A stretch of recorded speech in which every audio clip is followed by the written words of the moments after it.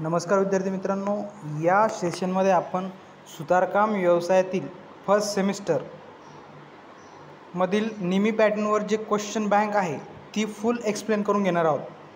त्यामधील आपण आज safety precaution and hand tools and timbers यावरती जे काही क्वेश्चन आहेत ते आपण एक्सप्लेन करणार आहोत. तर सुरुवात कर करण्यापू अगोदर आपल्याला एक सांगू इच्छितो की समोर समोरील जे एम सी क्यू आपण एक्सप्लेन करणार आहोत ते तुम्हाला मिळावे आणि बघता यावे. त्याचं एक्सप्लेनेशन तुम्हाला कळावं. यासाठी मी तुम्हाला विनंती करतो आहे की माझं चॅनल सबस्क्राईब करा. तर सुरू करू. नंबर एक what is the name of fire अग्नि का नाम क्या है? खाली तुम्हाला एक चित्र दाखवलेलं आहे. एक बॉक्स दाखवलेला आहे. त्या बॉक्समध्ये लिक्विड दिसतं आहे म्हणजे या बॉक्समध्ये एखाद्या वेळेस पेट्रोल डिझेल केरोसिन काही असू शकतं. मग तुम्हाला विचारलं आहे खाली दिलेल्या फायरचं नाव काय? तर उत्तरामध्ये दिलेलं आहे क्लास बी फायर तर क्लास बी फायर म्हणून दिलेलं आहे कारण की या बॉक्समध्ये एखादं लिक्विड असेल. तसेच फायरचे तीन प्रकार आहेत. Class A fire B fire C fire D fire तर क्लास ए फायर म्हणजे काय? ज्या ठिकाणी लाकूड कचरा कागद अशा सॉलिड पदार्थाला आग लागते तेव्हा त्याला आपण क्लास ए फायर म्हणतो. ज्या ठिकाणी लिक्विड म्हणजे पेट्रोल केरोसिन डिझेल अशा ठिकाणी आग लागते त्याला आपण क्लास बी फायर म्हणतो.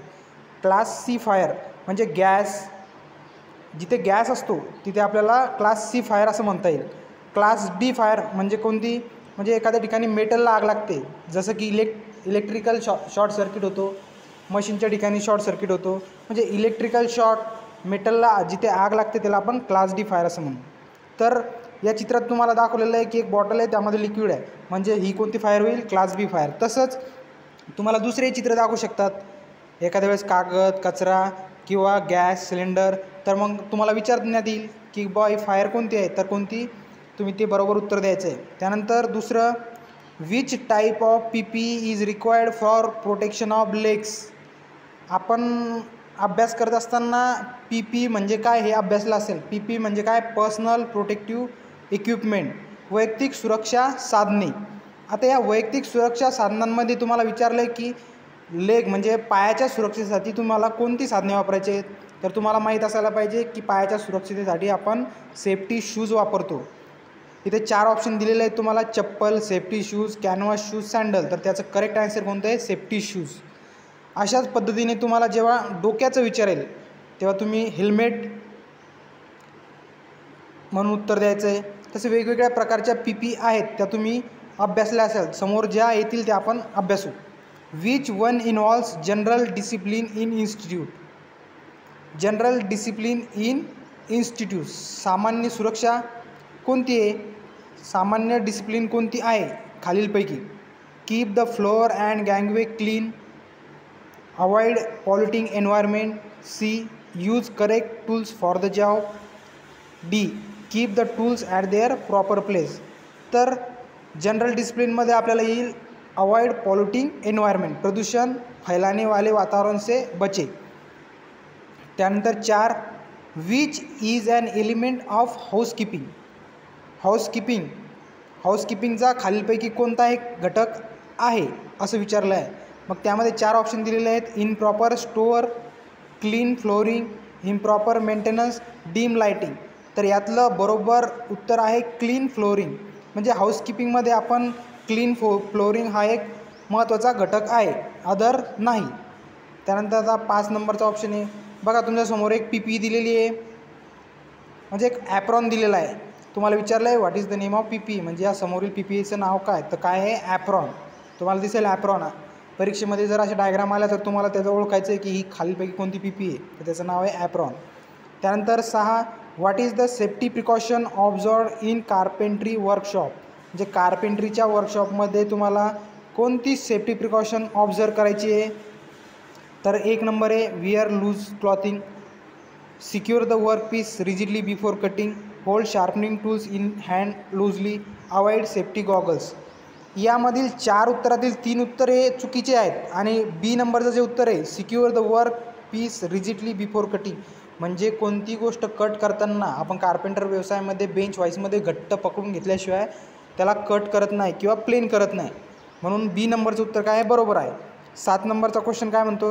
Which tree grows new layer on the outside of the trunk आपण बघितल्या दोन प्रकारच्या ट्रीज आहेत. झाडं हे दोन प्रकारचे आहेत. एक आहे एन्डोजिनियस ट्री आणि एक आहे एक्झोजिनियस ट्री तर इथं विचारलं आहे बाहेरून ज्या झाडाला लेअर तयार होते तर त्या झाडाचं नाव काय? तर कोणतं झाड येते एक्झोजिनियस ट्री त्याला बाहेरच्या साईडला काय होते? एक लेअर तयार होते. म्हणजे एक ॲन्युअल रिंग तयार होते बाहेरच्या साईडला म्हणून त्याला आपण काय म्हणतो? एक्झोजिनियस ट्री आठ नंबरचा क्वेश्चन बघू. Which tree has needle shape leaves that grow in temperature region and in a high altitude किस पेड़ में सुई के आकार के पत्ते होते हैं जो तापमान क्षेत्र और उंच ऊंचाई पर उगते हैं? आपण बघितलं सॉफ्टवूड आणि हार्डवूड सॉफ्टवूडचे जे लीव्ज असतात पानं असतात ते कसे असतात? टोकदार असतात सुईच्या पानासारखे असतात सुईसारखे असतात. म्हणून इथं या आठ नंबरच्या क्वेश्चनचं उत्तर काय होईल? सॉफ्टवूड जर तुम्ही मला विचारलं की ब्रॉड ल्यूजचं हे कोणतं आहे? तर तुम्ही काय उत्तर द्यायचं आहे? हार्डवूड. आता इथं नऊ नंबरचा क्वेश्चन आहे. नऊ नंबरचा question which part of wood which part of wood protect from external destroying agency बघा नऊ नंबरचा क्वेश्चन काय म्हणतो आहे which part of wood protect from external destroying agencies आपण बघतो आहे झाडाला एक बाहेरील बाजूला काय असते? साल असते. ती साल काय करते? झाडाला बाहेरच्या एजन्सीजपासून डिस्ट्रॉय एजन्सीपासून काय करते? वाचवते. म्हणून याचं उत्तर काय येईल? बार्क किंवा साल. दहा नंबरचा क्वेश्चन बघा. What is the name of fully develop wood that surround the pith आपल्याला झाडाची आकृती माहिती आहे. जेव्हा आपण एखाद्या झाडाचा क्रॉस सेक्शन घेतो. अकरा नंबरच्या क्वेश्चनमध्ये तुम्हाला दिलेलं आहे. बघा डायग्राम दाखवलेलं आहे. क्रॉस सेक्शन दाखवलेलं आहे. एक्झोजिनियस ट्रीचा आणि तुम्हाला इथं काय विचारलं आहे दहा नंबरच्या क्वेश्चनमध्ये? What is the name of fully develop wood that surround the pith म्हणजे तुम्हाला या क्रॉस सेक्शनचा कोणता भाग पीत आहे? तर याचा सेंटरमधला जो भाग आहे तो काय आहे? पीत आहे. आणि या पीतला जो सराउंड करतो जो हार्डवूड असतं त्याला आपण हर्टवूड म्हणतो. म्हणून याचं उत्तर येईल सी हर्टवूड त्यानंतर अकरा नंबर बघा.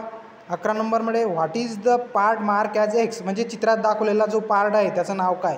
आता या डायग्राममध्ये तुम्हाला सांगायचं असं की हा जो एक्सने दर्शवलेला भाग आहे हा आहे सॅपवूड सॅपवूड सॅपवूड हा सॉफ्ट असतो. जसं जसं झाडाचं वय वाढत जातं या सॅपवूडचं कन्वर्जन कशात होतं? हार्डवूडमध्ये किंवा हर्डवूडमध्ये. आणि तो एकदम टणक वूड बनतो. त्यानंतर बारा नंबरचा क्वेश्चन बघा. Which type of wood has broad leaf अगोदरच आपण डिस्कस केलं आहे की ब्रॉड लिव्ज कोणत्या झाडाला असतात आणि निळल शेप लिव्ज कोणत्या झाडाला असतात?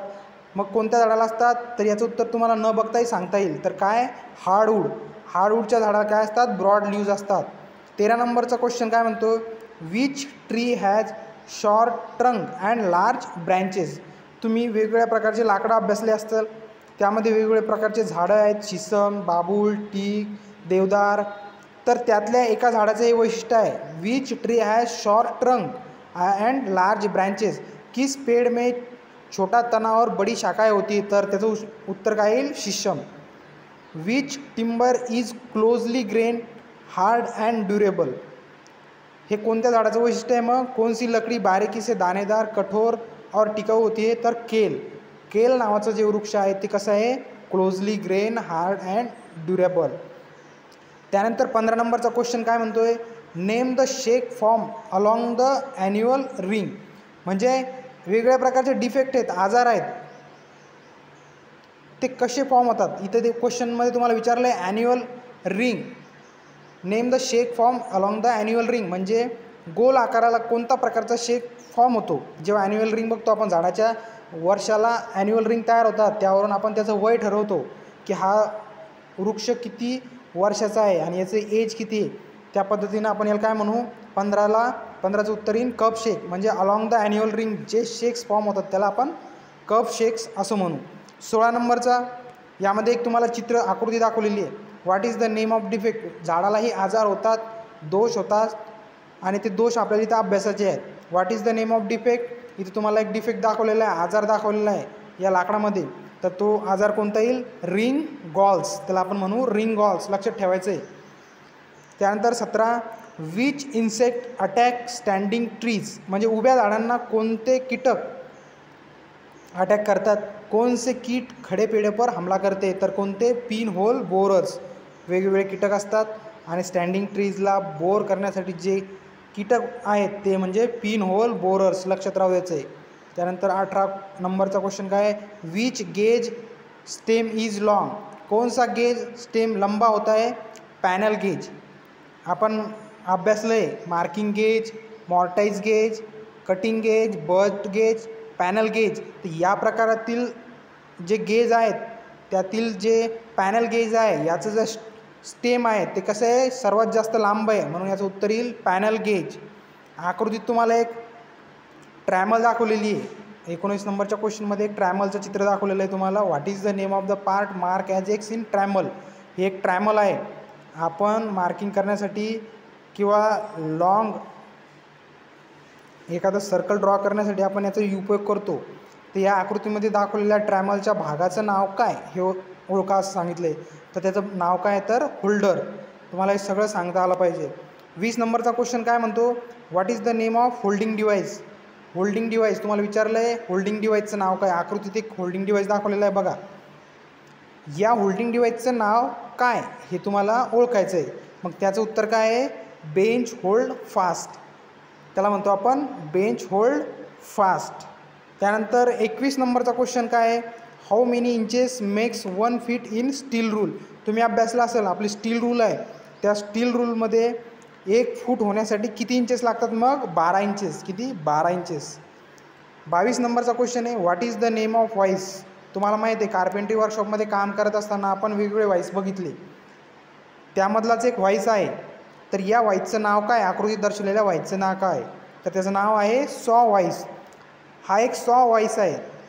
वेगवेगळे व्हाईस आहेत. त्यामध्ये बेंच व्हाईस इंजिनिअरिंग व्हाईस तर हा सॉ व्हाईस आहे. इथे चित आकृतीत तुम्हाला दाखवलेला सॉ व्हाईस या सॉ व्हाईसवर तुम्ही काय करता?